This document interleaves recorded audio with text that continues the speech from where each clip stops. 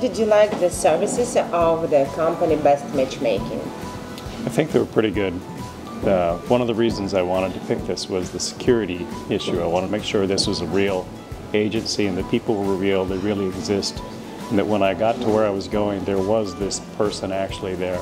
Uh, did you like your meeting with Marina? Very much so. What are your actions after you come back home? What are you going to do? Mostly think about things, uh, take my time, be patient, and try to be considerate. Ask Marina some more questions. Are you planning to do some serious steps uh, with this lady? Maybe. Okay. Okay. Would you recommend the company Best Matchmaking to other men?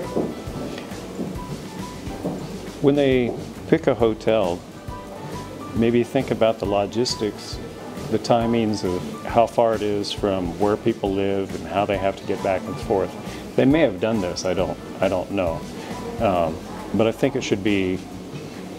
The proximity should be very close from the hotel to where the lady lives, so we can eliminate any timing issues or any issues with traffic and those things. And it might help provide more time for the interaction we have. Okay. And how did you like it, translator Anna?